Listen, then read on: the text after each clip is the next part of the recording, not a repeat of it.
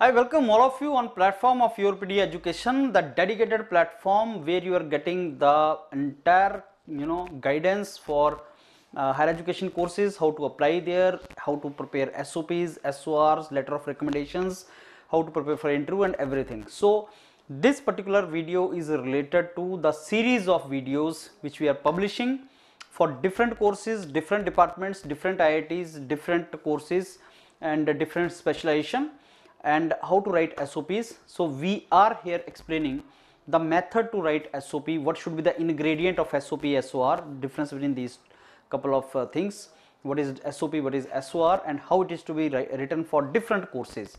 You know IITs have uh, and any university has many departments, chemical engineering, mechanical engineering, civil engineering, computer science, biomedical and there are courses like MS, MTech, PhD, then there are interdisciplinary departments like aerospace, energy studies, you know.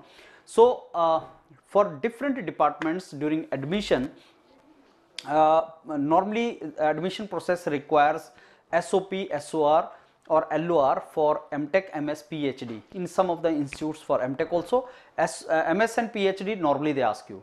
Student fear a lot how to write SOP and all, it is not difficult, but yes, uh, expert guidance and advice of mentors is always helpful. So these couple of uh, videos which you are watching, they are based upon some of the SOPs which were written by the students of YourPedia during initial drafts when they were sent to the mentors of YourPedia and they corrected it to first couple of drafts and then we are showing it. They are not, they are not the final versions but my request is do not copy paste these SOPs and apply. Just write your individuality should be reflected in that and you should have some kind of mocks on the basis of these because you know uh, in the interview they are going to ask you a couple of questions based upon these SOPs. My this uh, particular video is related to uh, MS program in disaster management in IIT Guwahati. IIT Guwahati mein there is an interdisciplinary department disaster management and uh, different branch of students can apply in that department. So this student is from the biomedical engineering who is applying in this department for MS. So let us go now and see how it is uh, to be written. So first you will tell why you are writing, uh, uh, why you are applying for MS in disaster management. This is statement of purpose actually why you want it and research proposal means what you want to do in that.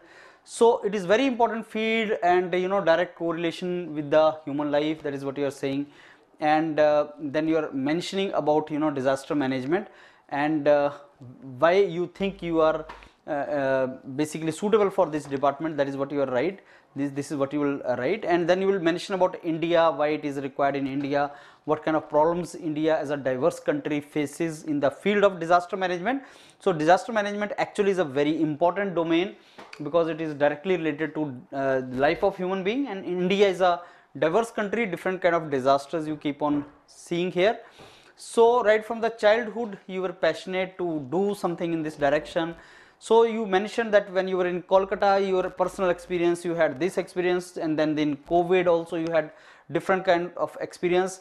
And then you say that okay MS from IIT Guwahati you will certainly pursue your domain of interest which is cyclone and tsunami. So in this you have mentioned that why disaster management is very important and why you want to get into that. And IIT Guwahati may if you get chance this is the area of specialization in which you would like to pursue. That is what you have mentioned and then you mention about your background. You will say okay I am biomedical engineering student.